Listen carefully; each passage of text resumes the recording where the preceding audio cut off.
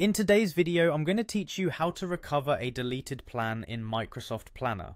Now, if you've ever accidentally deleted a plan in Microsoft Planner, you might know how frustrating it can be.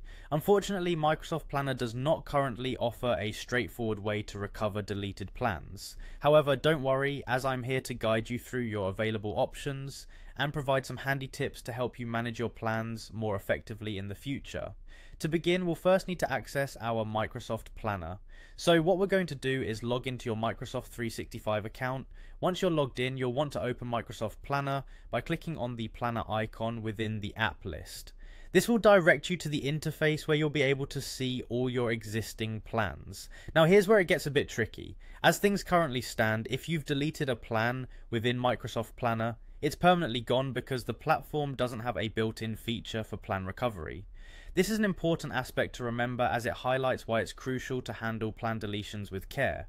Once a plan is removed, the only method from within Planner itself is to simply start from scratch and recreate the plan manually, which can be time consuming. That said, there is an alternative approach you can utilize by resorting to third party solutions.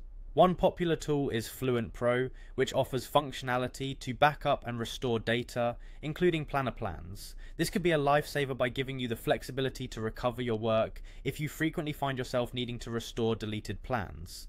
An additional point worth mentioning is the critical undo opportunity. Right after you delete a task or plan, Microsoft Planner briefly offers an undo option. However, you need to be quick as this option is only available for a few seconds. So if you act fast enough, you might manage to retrieve the plan immediately after deletion, but again, this window is very short. Lastly, the best prevention strategy is to always ensure you have a backup of your critical plans and tasks. This is a proactive approach that could save you significant time and stress if you ever accidentally delete a plan or experience data loss. Consistently backing up your data is the closest alternative to having a reliable recovery option.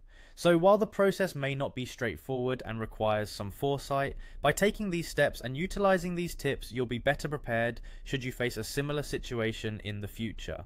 Thanks for joining me today and make sure to subscribe for more tips and guides.